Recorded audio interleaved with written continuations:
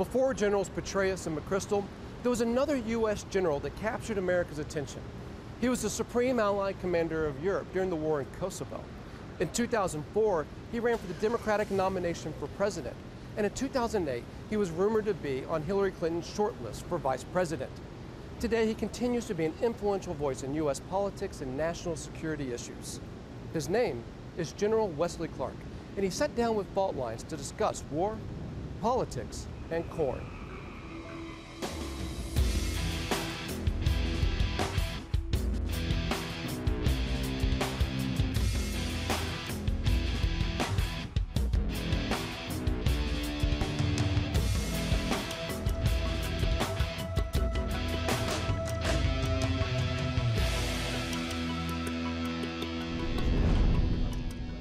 We're not, we're not causing trouble. We're not causing trouble. We're General Clark was certainly never an armchair general. They're a power that's trying to. A graduate of West Point, he went on to serve in Vietnam, where he was shot four times by a Viet Cong soldier. But it was the war in Kosovo that made him a public figure, and which led to his failed presidential bid a few years later. Now based in Little Rock, Arkansas, he's retreated somewhat from the spotlight of frontline politics and has found a new calling and a new job as a front man for the ethanol industry. How do you go from being a general to uh, promoting ethanol? Well, first of all, I had an engineering background. Um, in fact, uh, my last engineering course at West Point was nuclear engineering, so I studied all about nuclear power. Much of the world's instability today seems to revolve around oil. If you look at the war in Iraq, if you look at the war, like uh, instability in Nigeria, if you look at what's happening in the Gulf right now with the Deepwater Horizon, seems to be the implications of America's relationship with oil. Maybe not just the U.S. Well, you must have seen our ads on ethanol where we, these little ads, we got a two and a half, I, I haven't actually. two and a half million dollar advertising campaign. It's, it's heavy in Washington, D.C. and some other places. It says, you know, it's green, shows uh, an ear of corn and a little drop of ethanol. It says, no beaches have ever been ruined by ethanol. No wars have ever been fought for ethanol. Well, how many wars and, and, and how many disasters like Deepwater Horizon do you think it's going to take before America is willing to change its, make lifestyle changes to, to something Oh, I don't other think you than have to make any lifestyle changes on this. It's not about lifestyle changes. It's just about the way the system works. You know, in the, the ethanol ethanol is an alternative liquid fuel. Now, you can't produce it right now and totally substitute for oil, not even for imported oil, not even for OPEC sourced oil. Mm-hmm. There's not enough corn and making it from cellulose requires a couple of intermediate steps with enzymes that add to the cost, and so it's not competitive. Corn-based ethanol is maybe 10 to 20 percent cheaper per gallon than gasoline is at today's price. Well, the, the National Academy of Sciences, though, said that it's actually uh, non-climate related damages for corn grain ethanol were similar or slightly worse than gasoline because of the energy needed to produce the corn and convert it to fuel. That, that was last year from the National Academy of Sciences. Actually, that's based on obsolete data.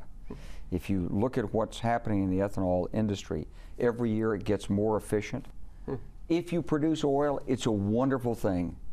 If you don't produce oil and you're a developing country and you have to use your hard won foreign exchange to import oil, wouldn't it be wonderful if you could just plant something and on your own soil make the liquid fuel you need for agriculture and transportation? And it can be done. Uh, you can't talk about oil right now without talking about what's happening in, in the Gulf. How do you think the Obama administration is handling the oil spill in the Gulf? Well, you know, it's BP's responsibility in the first place by law. And, uh, and BP has the responsibility and the technology to do something about, about it. Um, the U.S. Navy is not prepared to conduct drilling operations or anti or counter drilling operations at 5,000 feet below sea level for a very good reason. I mean, that's, that's not our national security interests, at least it hasn't been in the past. So it is BP's responsibility. As far as the cleanup's concerned, I'm glad to see that we're taking a, putting a different structure in place and we're getting the resources out and so forth. Do you think Um, it's appropriate that the Pentagon has continued to issue billion dollar contracts to BP for more oil and gas from them?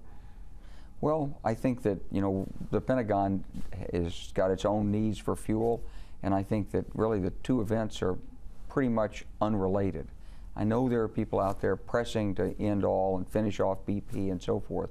You know, I, I don't want to look at it in moral terms. I want to look at it in terms of technical terms, economic terms, ecological terms. Uh, BP put its corporate processes at work. It's trying to seal off the well. Those corporate processes may not be the best processes to deal with things like beach cleanup and others. And so we've got a different organization going in down. The Obama administration has taken much more direct responsibility for things like the beach cleanup and, and what to do with the consequences of it. So I think that's it kind of beats the beast, though, doesn't it? The, uh, the, the Pentagon gives a billion dollar contract to BP. BP will need to drill more. And it doesn't seem that BP has a plan for what happens when something like Deepwater happens. Well, none Or of if they these, have a plan, it's not a very good one, companies right? would have an easy time dealing with a well like this. And until the investigation is completed, there's going to be what we saw, which is a lot of finger pointing as people look and say, who's really, why did the BOP not succeed? How come this wasn't done? Who was in charge? There's a lot of missing information on this, and, and that's not clear yet. But BP doesn't only sell its own oil; it's it's buying, it's it's brokering, it, it's trading oil. So for the Pentagon to suddenly, you know, cancel a contract and have to let another contract, I don't see really the the point of that other than to somehow punish BP as a corporation. I think BP's already experiencing corporate accountability in a very public and dramatic way right now. So I don't think it requires any additional effort by the Pentagon to, to bring that about to bear. finger pointing in the Pentagon, what happened in Afghanistan recently with Gen- General McChrystal. Uh, by all accounts of the military, everyone seemed to think that McChrystal was doing a good job in Afghanistan and that he was competent and maybe the most capable leader. But because of comments in the press, uh, President Obama fired him. What do you think of that decision? Well, I think there's lines you can't cross, and uh, I think that when something like that comes out publicly and um, and it casts um, doubt on the relationship between civil authority and military authority, then civil authority has to act. So I think the president did what he had to do. Do you think that whole event was really emblematic uh, between the struggle of the U.S. military being under civilian political control? No, I think that was a indication of what happens when you have unexpected, unanticipated encounters with the press. It's an interesting. Basically, from the standpoint of the military and the government, there's no interest at all, no purpose in opening up internal attitudes and, and discussions to public view. It the seemed like press the things views- they said weren't new. the- Ev- the- Every command level says those things about the next command level up, right? I mean, at the platoon level, you always bitch about the company commander not knowing what he's doing. Well, let's put it this way.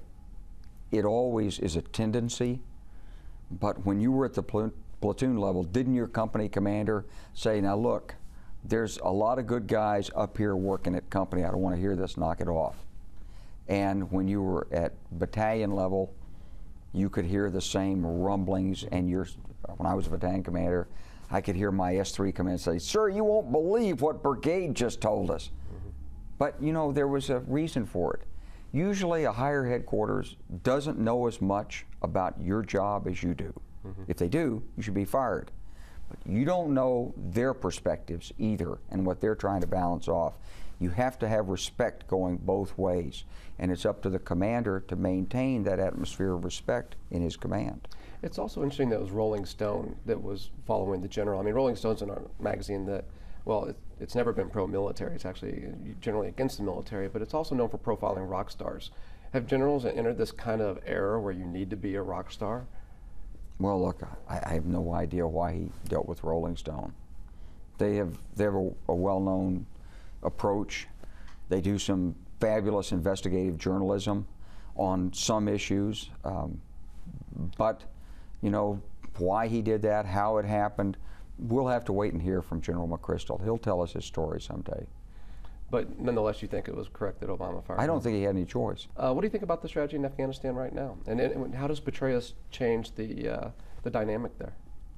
Yeah, well, it's, it's a very it's a very challenging situation. Strategy is like a chess game. Each game is unique. You may have some common pieces, you may have the same moves, but how you assemble it is different. So Iraq was different than Afghanistan, and nobody knows that better than Dave Petraeus. So uh, I think what, what I see in, in the Afghanistan issue is it's mostly Pakistan. Um, Al Qaeda still has a base in the no- frontier territories.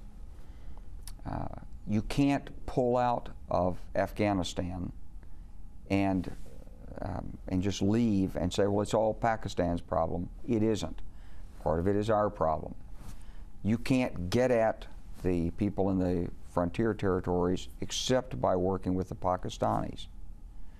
Um, they have their concerns in the region with Indian influence and what India is doing on their back, at their back door inside Afghanistan. So, um, and the Indians are concerned about what the Pakistanis are doing in Kashmir. And uh, both are nuclear powers. So there's a lot of dimensions of this beyond what happens in Kandahar or Marja. And uh, Dave understands those dimensions. I think you know he's better equipped than anybody at this time to handle it, to work the strategy, and and to pull some order out of the situation that's unfolding there. You know General Petraeus? Yeah. Yeah. Uh, what do you think about his aspirations for the presidency one day? You think that's something he he dreams of or thinks I of? no idea. I've never discussed it with him. and It's I never come want up? to speak for him. Yeah, but few people have been in his shoes. A four-star general who may get out and have, be politically pulled into the, the presidential race. Uh, You're one of the few people in the world right now that, that can say, I, I recognize the position that General Petraeus is in. And, and do you think those forces will draw him into an election? I just wouldn't want to speculate on something like that. I think it'd be unfair to General Petraeus. I think it'd be mm-hmm. unfair to the administration that he's serving. I think it would be unfair to the soldiers who, and Marines whose lives depend on his decisions.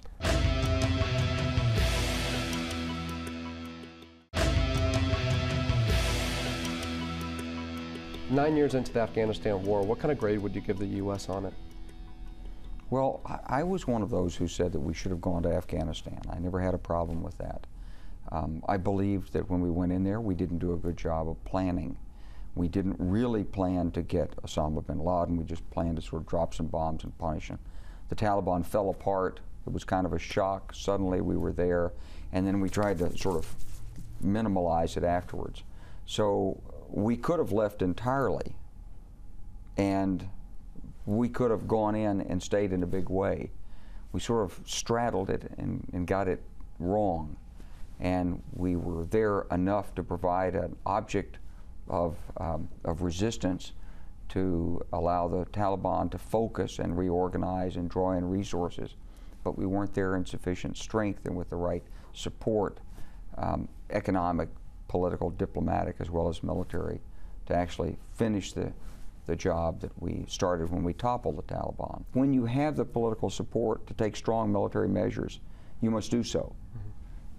If you wait in extremis until you say, if we don't do this, we'll certainly fail, by that time, the public sees it as well, and you won't have the political support to do it. We need to be working much more effectively with the Pakistani military, whatever it takes.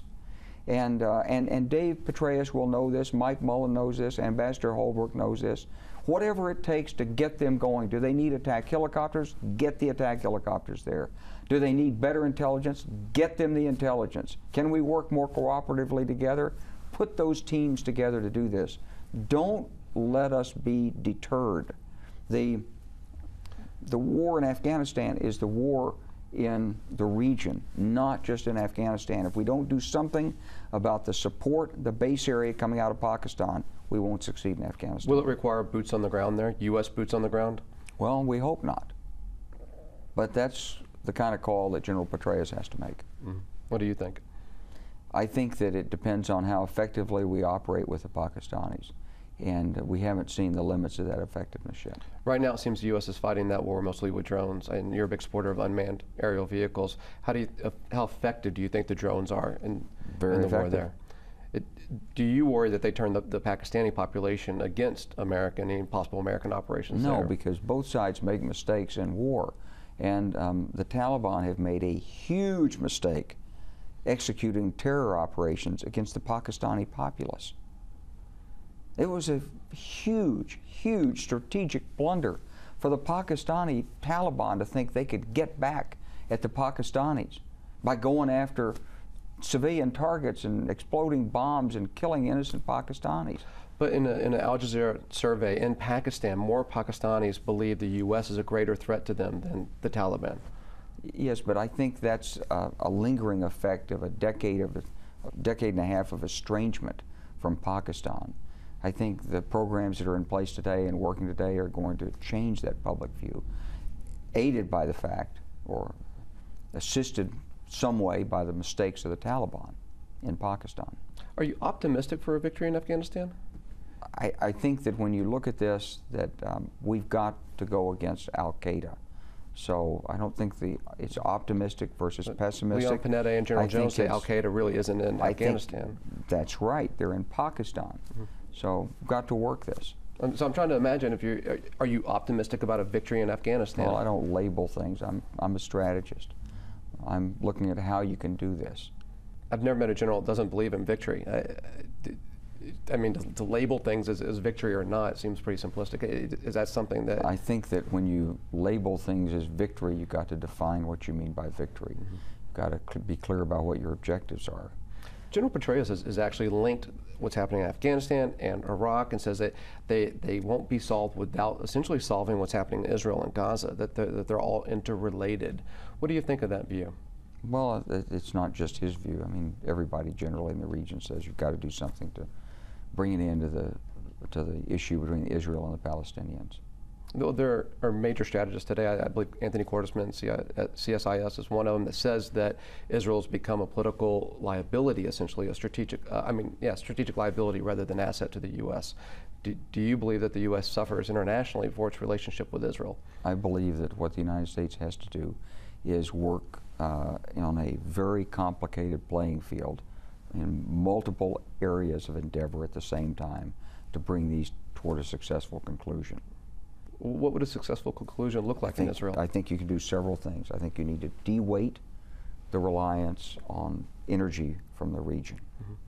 I think you need to uh, work with the local governments, not only Israel and the Palestinians, but all the governments in the region, to promote economic development, a sense of uh, justice, and, uh, and respect for the rule of law in the region. I think you've got to work to uh, end the struggle between India and Pakistan um, over issues uh, in the region.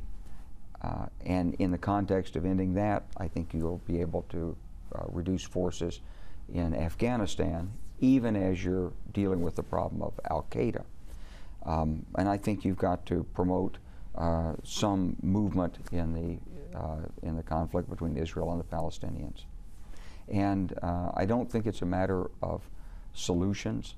I don't think it's, this is not the kind of thing that you can just sort of say, ah, divide up the map, uh, cut this line, work this, the problem will go away. These problems are embedded in the hearts and minds of people.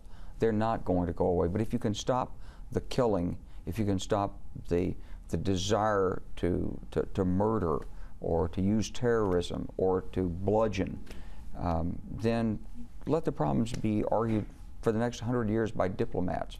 Let ordinary people go on with their lives, raise families, and have jobs, earn a living. Back to Israel and the relationship with Iran. Uh, what's your view on the, the new sanctions against Iran? Would they be effective in stopping Iran from, from attaining nuclear weapons? And I ask you because your experience in North Korea seemed almost similar, if not parallel, to 10 or 15 years ago as to where the United States is now with Iran. I think that um, the Iranians are moving technically uh, uh, a little bit slower than, uh, than the worst case analysis has, has shown. Um, they're, they're in it for political power, not for military power. I think the sanctions can have an impact, uh, but ultimately a decision will probably have to be made at some point whether the sanctions are sufficient in and of themselves. Do you understand their desire to have nuclear weapons? I don't know what you mean by the word understand. In other words, if I were an Iranian, would I want nuclear weapons? No, absolutely I would not. Why would you want nuclear weapons? Why would you want to do something that puts you at odds with the greatest powers in the world? Maybe because Israel has them, because the U.S. has them, and they're in Iraq and Afghanistan on both sides. I think it's China, Pakistan, India are all in that region, and they all have them. Why shouldn't Iran? I think it's basically about Iranian internal politics. I think you know you can construct a rational argument from as you're trying to do, but uh, when you probe that argument a little bit deeper, it breaks down. If you were really interested in the good of the Iranian people, why would you want nuclear weapons? Why wouldn't you want good relations with every country in the world? Why would you want to pick a fight with other nations? Israel doesn't have anything, any harm intended against Iran. Why would you want to fight with uh, a technologically advanced and innovative Israel? It, it can only be about the, uh, the, the well springs of political power inside Iran. And, um, you know, people create these arguments to serve their own political interests. So, no, I don't understand, and I don't believe there's a real case for Iran to have nuclear weapons at all. Well, even with the North Koreans, uh, although you called them graceless and, and hard-headed in their negotiations, you said you understood that they that they were fearful and felt like they were surrounded and they, they needed this for self-defense. Oh. It seems like the argument applies to Iran. It doesn't apply to Iran. It doesn't apply the way you're applying it to um, Korea, to North Korea. Um, you have to be able to uh, evaluate the motives of your negotiating adversaries. Okay, so that's their motives. That doesn't mean that I, quote, understand them. I don't understand anything in those terms about the North Korean regime because, after all, how can you have a regime that um, is so determined to survive at the cost of the people who live under it? That it destroys their lives. It, that it's actually made them physically smaller. You know, when you go to North Korea, the average North Korean is several inches and 20 pounds smaller than the average South Korean. Well, this wasn't the case 60 years ago. This is just a matter of malnutrition. How can you have any understanding for a regime that does that? You can see, okay, you understand that they're trying to survive, but you don't really understand it because it doesn't really make sense. There's no rational case for this. Mm-hmm. There's only selfishness and the personal interests of the people in power. And that's exactly the case with Iran in 2007, you said you, you think about running for the presidency every day. Quote in Politico. Do you still think about it? Well, I'm really happy We've got a great leadership team in the United States. Do you still think about running for the no, presidency? I'm happy with the leadership team in the United States. I'm mostly in the business sector.